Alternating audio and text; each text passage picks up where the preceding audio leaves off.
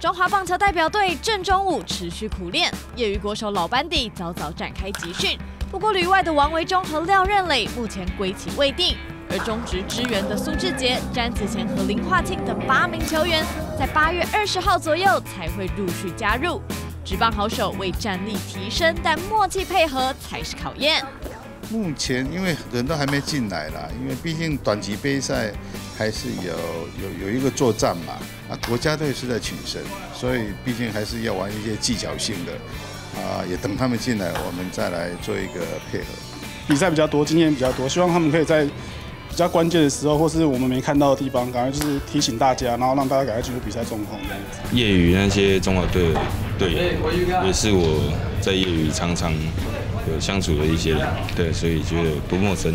因为也是第一次打那种大型国际赛嘛，这个是一个杯赛，就跟这有输赢关系的，所以还是现场反应。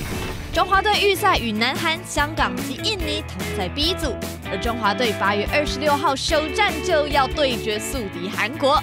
教练除了表示将由林化庆扛起先发之外，对于抗寒策略也有初步的想法，会准备蛮多位投手的，啊，换的频率会快一点，啊，因为短期杯赛嘛，我希望上去的投手能够马上止血，啊，不能有分数拉得太大的话，这样可能对中哈中华队来讲会追得会很辛苦。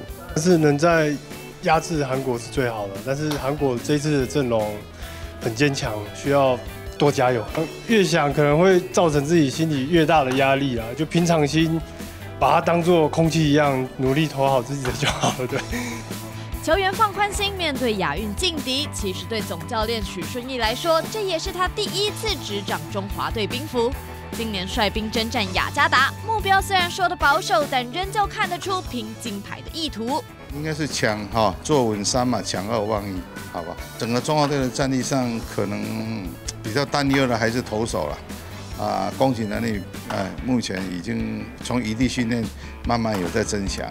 凭着担任河库总教练时对业余球员们的熟悉度，加上中职和旅外好手的战力助阵，作为国家队总教练，许顺义尽力整合，炒出一盘好菜，让中华队展现最高效益。外体新闻采访报道。